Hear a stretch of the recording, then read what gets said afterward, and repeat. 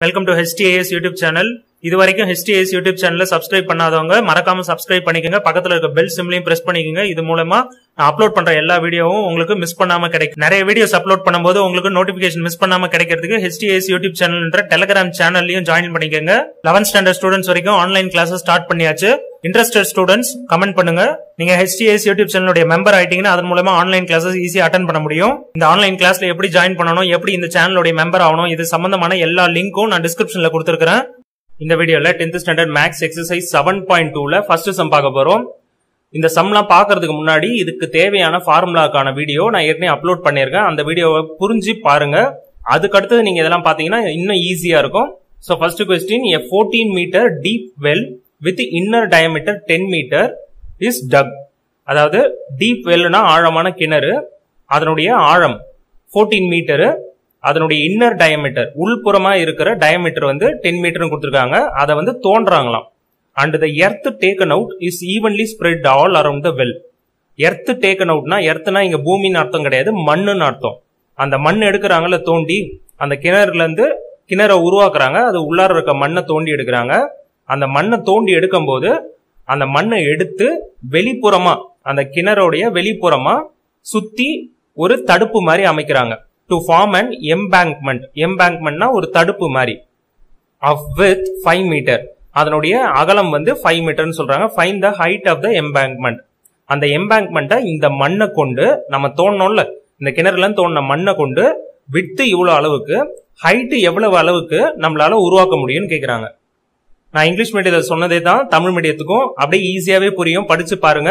இது வந்து ஒரு உருளை வடிவம். அது மட்டும் முக்கியம். அதை சுத்தி மேடை மாதிரி அமைக்கிறாங்க தடுப்பு மாதிரி அமைக்கிறாங்க. அதனுடைய உயரத்தை கண்டுபிடிக்கணும். இந்த கொஸ்டினுக்கு கிவன் எழுதியிருக்கிறோம் கொடுத்துருக்கிறது எழுதியிருக்கோம் டெப்த் இல்லைன்னா ஹைட்னு சொல்லலாம். இந்த சிலிண்டருடைய ஹைட்னு சொல்லலாம். இந்த கிணறு வந்து சிலிண்டர் ஷேப்ல இருக்கு. உருளை வடிவம் அதனுடைய ஹைட்னு சொல்லலாம் இல்ல டெப்த் ஆழம்னு சொல்லலாம். ரெண்டுமே சேம் தான். அது வந்து ஃபோர்டீன் மீட்டர்னு கொடுத்துருக்காங்க இன்னர் டயாமீட்டர் இப்ப முத வந்து மென்சுரேஷன்ல எந்த சம் போட்டாலும் டயக்ராம் முக்கியம். நீங்க அதை டயக்ராமா புரிஞ்சுக்கிட்டீங்கன்னா சம் போடுறது ஈஸி அதுக்கு அடுத்தது ஃபார்முலா முக்கியம் ஃபார்முலாக்கு நான் ஏற்கனவே சொன்ன மாதிரி டிஸ்கிரிப்ஷன் லிங்க் கொடுத்துருக்கேன். அந்த ஃபார்முலாவை நீங்க பாத்தீங்கனாலே புரிஞ்சு படிக்கிறதுக்கு ஈஸியா இருக்கும். அதை மெமரைஸ் பண்றதுக்கு ஈஸியா இருக்கும். அதை புரிஞ்சுக்கினீங்கன்னா மெமரைஸ் கூட பண்ண தேவையில்ல. அந்த ஃபார்முலா எப்படி வரும்னு தெரிஞ்சிட்டீங்கன்னா ஈஸியாகவும் படிச்சிடலாம். ஸோ செகண்ட் வந்து டயக்ராம் ஃபார்முலா ஒன்று டயக்ராம் ரெண்டாவது. நீங்கள் டயக்ராம் புரிஞ்சுக்கிறதுக்கு சிம்பிளாக வரைஞ்சா போதும். ஒன்றும் கஷ்டப்பட்டு வரைய தேவையில்ல. இது வந்து ஒரு சிலிண்டரு இது வந்து ஒரு கிணறு ஷேப்புன்னு நம்ம எடுத்துக்கணும். இது உள்ளார வந்து தண்ணி இருக்கிற மாதிரி அதாவது கிணறு. அதுக்காக நம்ம தோன்றோம். அதுல இந்த இடத்துல இந்த டாட்டர் லைன் போட்டிருக்கோம்ல இந்த இடத்துல இருக்கிற மண்ணை தோண்டி வெளியே எடுக்கிறோம். அந்த மண்ணை வெளியே எடுத்துட்டு என்ன பண்றோம்னா அதை சுத்தி ஒரு தடுப்பு மாதிரி எம்பேங்க்மெண்ட் வந்து ரெடி பண்றோம். அதாவது ரொம்ப சிம்பிள் இந்த மண்ணை எடுத்து இந்த இடத்துல மண் அப்படியே கொட்டுறோம் சுத்தி. அதை கொட்டி உயரத்தை ஏத்துறோம். அந்த உயரம் வந்து எவ்வளோன்னு கேட்குறாங்க அவ்வளோதான் ஸோ இதுல கொஸ்டின் நம்மளுக்கு கொடுத்துருந்தது வந்து இன்னர் டயமீட்டர் அப்படின்னா என்னன்னு புரிஞ்சுக்கிறோம். இந்த தோண்டி எடுக்கிறாங்கல்ல மண்ணை அதனுடைய ரேடியஸ் நம்மளுக்கு தேவை. அதுக்கான க்ளூ கொடுத்துருக்காங்க. அதாவது டயமீட்டரை கொடுத்துருக்காங்க இன்னர் டயமீட்டர் வந்து டென் மீட்டரு அப்போ நம்ம இன்னர் ரேடியஸ் கண்டுபிடிக்கலாமா? டயமீட்டரில் பாதி தான் ரேடியஸ் அப்போ ten divided by two five metre next நம்ம என்ன பண்ணோம்னா எவ்வளவு மண்ணை ஃபர்ஸ்ட் எவ்வளவு மண்ணை நம்ம வெளியே எடுத்தோம்னு தெரியணும். அதை நம்ம எவ்வளவு உயரம் போடணும்னு தெரியணும். ஸோ எவ்வளவு மண்ணை வெளியே எடுத்தோம்னா வால்யூம் ஆஃப் த சிலிண்டர் கண்டுபிடிக்கலாமா? இந்த இடத்துல எவ்வளவு மண்ணு கொள்ளும்? அதனுடைய கொள்ளளவு கண்டுபிடிச்சாலே போதும். ஸோ கொள்ளளவு இல்லைன்னா கன அளவுன்னு சொல்லுவோம். So volume of the cylinder equal to volume of the earth taken out அதாவது இந்த இடத்துல இருந்த மண்ணை நம்ம வெளியே எடுக்கிறோம்ல அதுதான் volume of the earth taken out எர்த்னா இங்க மண்ணுன்னு அர்த்தம். அதை வெளியே எடுக்கிறோம். அது என்ன ஷேப்ல இருக்குன்னா சிலிண்டர் ஷேப்ல இருக்கு. அப்ப சிலிண்டருக்கான ஃபார்முலாவை நம்ம யூஸ் பண்ணாலே போதும். புரிஞ்சிருக்கும்னு நினைக்கிறேன். ஸோ மண்ணு எடுக்கிறதுக்காக நம்ம இப்போ கண்டுபிடிக்கிறோம். எவ்வளோ மண்ணை வெளியே எடுக்கிறோன்ட்டு so pi r square h தான் ஃபார்முலா இதில் ஆறுன்றது நம்ம கண்டுபிடிச்சு வச்சிருக்கோம். இதுக்கு தான் இன்னர் ரேடியஸ் வந்து நம்ம எடுக்கிறோம். ஸோ ஃபைவ் மீட்டர் ஆறு அதாவது ஃபைவ் ஸ்கொயர் போட்டிருக்கோம். பையன்ற value twenty two by seven ஹெச்ன்றது நம்ம ஏற்கனவே பார்த்தோம் ஃபோர்டீன் மீட்டர் அந்த ஆழத்துக்கு தான் அந்த கிணறு தோன்றும். So twenty two by seven into five square into fourteen எல்லா வேல்யூவும் நம்மளுக்கு தெரியும். இதை இப்போ சிம்பிளிஃபை பண்ணோம்னா டுவெண்ட்டி டூ பை செவன் அப்படியே வரும். Five square five into five எழுதிக்கிறேன் இன்டூ ஃபோர்டீன் செவன் டேபிளில் one seven seven two seven sir fourteen remaining இருக்கிறது எல்லாத்தையும் மல்டிப்ளை பண்ணோம் அதாவது டுவெண்ட்டி டூ இருக்குது ஃபைவ் இருக்குது ஃபைவ் இருக்குது டூ இருக்குது இதை சிம்பிளாக எப்படி பண்ணலாம்னா five five sir twenty five twenty five into two நம்மளுக்கு ஃபிஃப்டி இது ஈஸியாக தெரியும். இல்லை five two sir ten ten five sir fifty எப்படி வேணாலும் போடலாம் இது மொத்தமும் ஃபிஃப்டி வரும். இது twenty two twenty two into fifty இதை மல்டிப்ளை பண்ணி ஆன்சர் கண்டுபிடிக்கிறது ரொம்ப சிம்பிள் தௌசண்ட் ஹண்ட்ரட் இது வந்து வால்யூம்ன்றதுனால மீட்டர் கியூப் மீட்டரில் கொடுத்துருக்காங்க அப்போ வால்யூம்ன்றதுனால மீட்டர் கியூப்னு ஃபார்முலா எழுதணும்.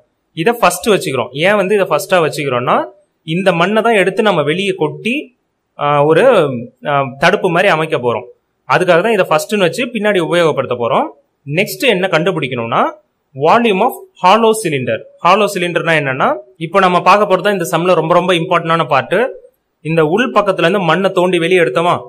அந்த வெளியே எடுத்து இங்க கொட்டுறோம். இந்த இடத்துல கொட்டுறோம்.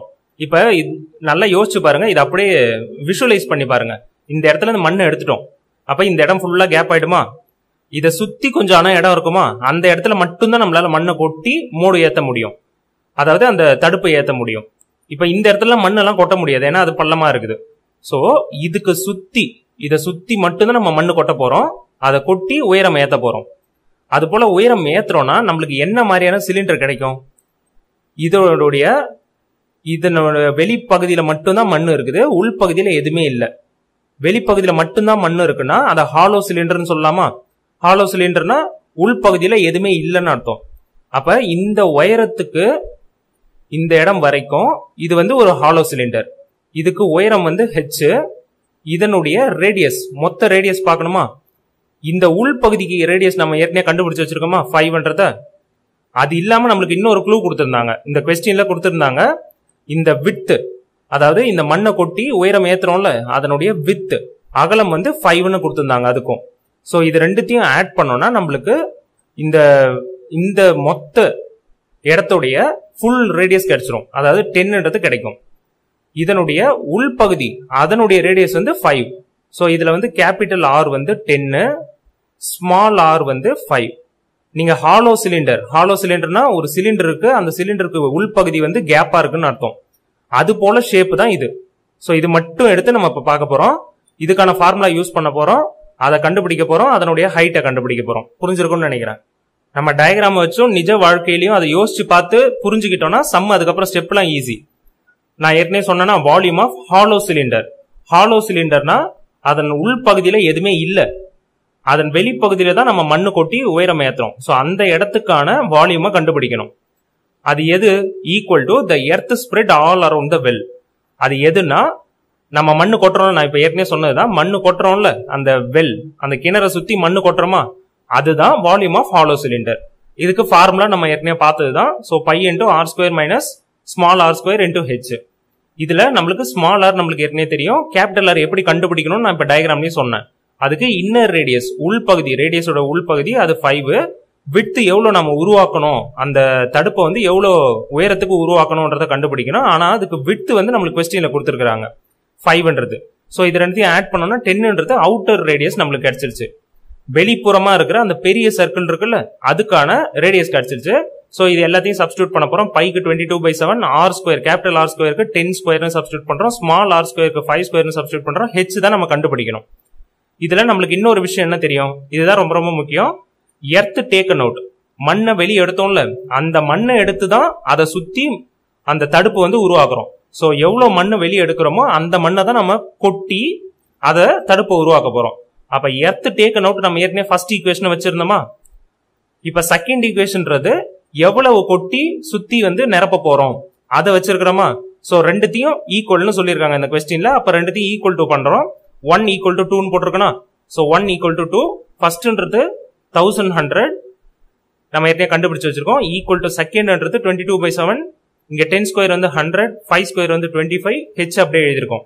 இதுல இருந்து ஹெச் மட்டும் தான் கண்டுபிடிக்கணும் நம்ம இந்த ஹெச்சை மட்டும் ஒரு பக்கம் வச்சுக்க போறோம். ஹெச்சை ஒரு பக்கம் வச்சுட்டோம்னா தௌசண்ட் ஹண்ட்ரட்னு வரும். இந்த செவன் இந்த பக்கம் போச்சுன்னா இன்டூ செவன் வரும். So thousand hundred into seven அடுத்த ஸ்டெப்ல நான் எழுதியிருக்கேன்னா டிவைடட் பை இந்த டுவெண்ட்டி டூ கீழே வந்துடும் அப்போ டுவெண்ட்டி டூ கீழே எழுதிட்டோம். Into thousand minus twenty five வந்து செவன்டி ஃபைவ் அதை கீழே எழுதியிருக்கோம். இது அப்படியே ஒரே ஸ்டெப்லேயே போட்டிருக்கேன். ஹெச்சை வந்து லெஃப்ட் ஹேண்ட் சைடு கொண்டு வந்துடணும். மற்ற எல்லாத்தையுமே ஒரு பக்கம் கொண்டு வந்துடணும். அதுதான் பிளான் அது மாதிரி தான் பண்ணியிருக்கோம். ஸோ இதில் பார்த்தீங்கன்னா எது எதெல்லாம் கேன்சல் பண்ணலாம்? டுவெண்ட்டி டூ இதுவும் லெவன் இதையும் லெவன் டேபிளில் கேன்சல் பண்ணலாம்.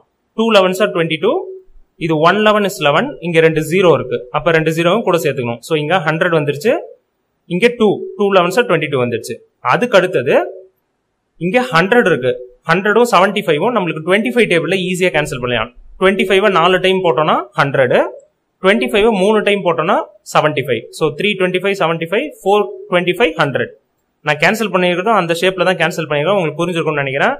நெக்ஸ்ட்டு டூ டேபிளில் இதையும் ஃபோரையும் கேன்சல் பண்ண போகிறோம் one two is two two two are four so remaining என்னென்ன இருக்குது டூ செவன் கீழே வந்து த்ரீ மட்டும் இருக்குது two seven are fourteen divided by three இதை டிவைட் பண்ணால் இதான் ஆன்சர் இதை டிவைட் பண்ணியும் காமிச்சிருக்கிறேன். இதில் பார்த்தீங்கன்னா ஃபோர் பாயிண்ட் சிக்ஸ் சிக்ஸ் சிக்ஸ்னு கண்டினியூ ஆகிட்டே இருக்கும். இதை வந்து நம்ம ரவுண்ட் ஆஃப் பண்ணிக்கலாம். ரெண்டு டெசிமல் பாயிண்ட் வரைக்கும் ரவுண்ட் ஆஃப் பண்ணிக்கலாம். இங்க சிக்ஸ் இருக்கு ஃபைவ் விட கிரேட்டர் நம்பர் அப்ப இது கூட. இந்த சிக்ஸ் கூட பிளஸ் ஒன் ஆட் பண்ணோம்னா ஃபோர் பாயிண்ட் சிக்ஸ் செவன் வரும். அதுதான் நம்மளுக்கு ஆன்சர் மீட்டரு இப்போ உயரம் வந்து அந்த கிணறு சுத்தி நம்ம ஒரு தடுப்பு அமைக்கிறோம்ல அதனுடைய உயரம் வந்து four point six seven metre அதனுடைய அகலம் வந்து ஃபைவ் மீட்டர் இதன் மூலமா நம்ம உள்ளார இருந்து மண்ணை தோண்டி எடுத்ததை எல்லா மண்ணையும் யூஸ் பண்ணிட்டோம். அந்த தடுப்பு உருவாக்குறதுலன்னு சொல்லியிருக்காங்க. புரிஞ்சிருக்கும்னு நினைக்கிறேன். இந்த ஆன்லைன் கிளாஸ்ல எப்படி ஜாயின் பண்ணணும் எப்படி இந்த சேனலோட மெம்பர் ஆகணும் இது சம்பந்தமான எல்லா லிங்க்கும் நான் டிஸ்கிரிப்ஷன்ல கொடுத்துருக்கேன் நெக்ஸ்ட் ஒரு ஒரு கிளாஸ் வைஸ் ஒரு ஒரு சப்ஜெக்ட் வைஸ் ஒரு ஒரு லெசன் வைஸ் பிளேலிஸ்டோட லிங்க்கும் கொடுத்துருக்கேன் எஸ்டிஎஸ் யூடியூப் சேனலுடைய Telegram channel link Facebook link இதையும் நான் டிஸ்கிரிப்ஷன்ல கொடுத்துருக்கேன் இதோட இந்த வீடியோ முடிஞ்சிருச்சு உங்களுக்கு வேற ஏதாவது டவுட் நான் கமெண்ட்ல போடுங்க. இந்த வீடியோ பிடிச்சி நான் மறக்காம லைக் பண்ணுங்க. உங்க ஃப்ரெண்ட்ஸ் ரிலேட்டிவ்ஸ் கூட இந்த வீடியோவை ஷேர் பண்ணிக்கோங்க. தேங்க்யூ